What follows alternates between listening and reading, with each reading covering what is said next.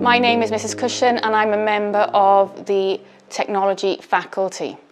My job is uh, teaching hospitality and catering within the school. The course that we study in the school is WJEC Level 1-2 Hospitality and Catering Award.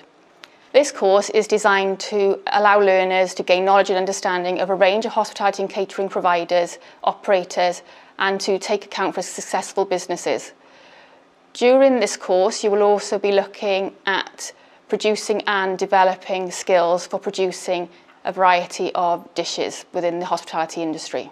This course consists of two units. Unit 1 we do in Year 10, and this is looking at the hospitality and catering industry. This is a written exam which we carry out on the computer. The, the exam takes about an hour and a half and is worth 40% of the final grade. Unit 2 is the second part of the course. This is a written piece of work and the practical part of the exam.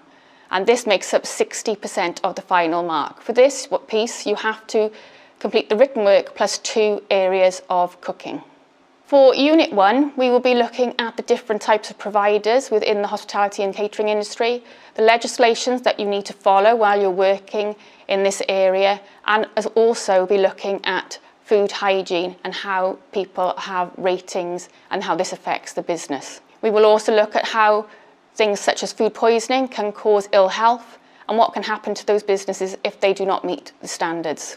In Year 11, we complete the coursework and the practical element. We will be um, practicing cooking within Year 10, and that will be every other week. You must be able to take part, and this is really important because those skills then lead on to Year 11. The purpose of this unit is for learners to plan, prepare, and cook and present nutritional dishes. They need to understand the importance of nutritional planning when doing the meal and understand how to present them in a way that's suitable for a restaurant. During this time, we will also be carrying out a food hygiene certificate, which can be then used for further employment. In Year 11, you will complete the piece of coursework based on a client of different ages. You will have to do menu planning, and then you will cook and present the two dishes to a high standard. During that exam, you will also be marked on your food hygiene, which will link back to year 10. If you have any further questions regarding this course, please email Mrs Cushion or speak to me on your return to school. Thank you.